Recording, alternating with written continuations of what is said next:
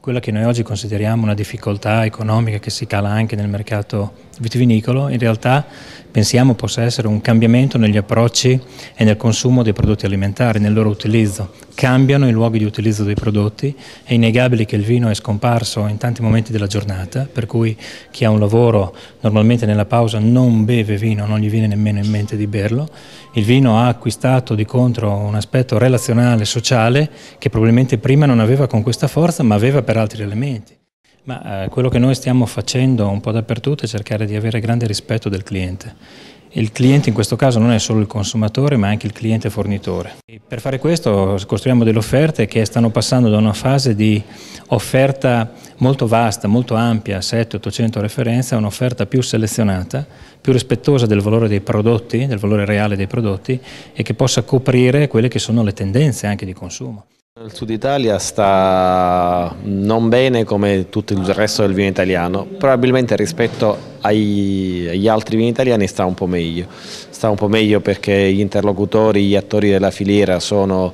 mediamente più professionalizzati, hanno meno eh, sulle spalle il retaggio di un passato glorioso che oggi in qualche modo si presenta meno brillante, quindi anche senza preconcetti e senza schematismi riescono ad affrontare le sfide del futuro e comunque hanno talmente tanta carica e tanta grinta da riuscire probabilmente a superare questa, questa fase di impasse. Bene non sta nessun vino, il Sud Italia non credo che faccia, abbia differenze, forse sta un po' peggio di altre zone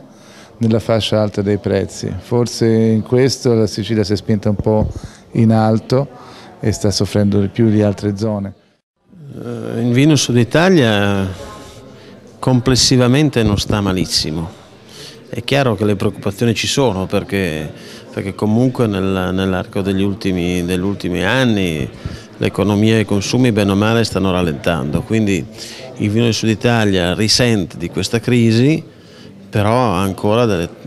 grandi carte da giocare, quindi può in un futuro ripartire e cogliere le opportunità che sicuramente esistono ancora sul mercato non solamente italiano ma anche quello internazionale. Eh, eh purtroppo negli ultimi anni sono state immesse quantità enormi di vino siciliano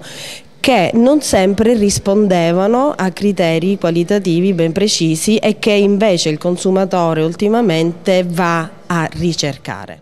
Tra le strategie durante il forum si parlava dell'abbassamento dei prezzi, lei che ne pensa? Ma io non sono assolutamente d'accordo con una strategia di questo tipo per risollevare le problematiche che oggi il vino confezionato magari sta attraversando. Io penso che un'azienda, se è un'azienda seria, nel momento in cui si approccia al mercato del vino confezionato deve studiare la giusta posizione del suo prodotto rispetto alla qualità che produce e rispetto al consumatore che vuole raggiungere, ma non è pensabile che da un anno all'altro si possano far registrare delle notevoli oscillazioni di prezzi perché questo metterà in, certamente in evidenza poca serietà e poca lungimiranza nelle strategie commerciali.